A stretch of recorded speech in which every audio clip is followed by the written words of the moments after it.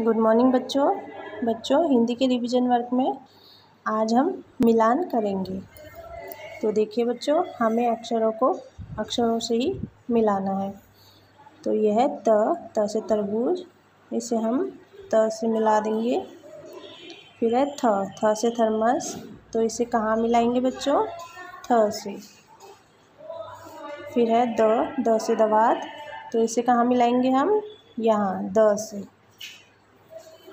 तो इन दोनों को आपस में मिला देंगे। फिर है ध ध से धनुष। तो ध से धनुष को हम ध से मिला देंगे। फिर है न न से नल। तो इसे कहाँ मिलाएँगे हम? यहाँ, न से नल से। फिर है प से पतंग। तो प से पतंग को हम प से पतंग से मिला देंगे। फिर है फ से फल। तो इसे कहाँ मिलाएँगे बच्चों?